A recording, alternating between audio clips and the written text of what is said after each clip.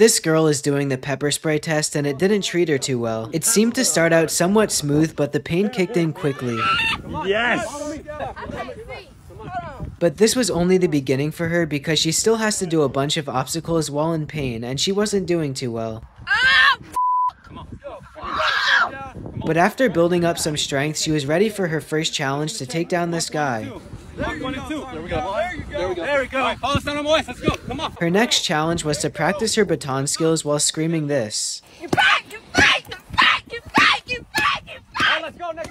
Now she was on to the next challenge where she has to disarm the threat and she was doing pretty well. Tap right. Although she was on a good path, she couldn't seem to bring herself to finish the last challenge and had to finish early. Could you complete this training?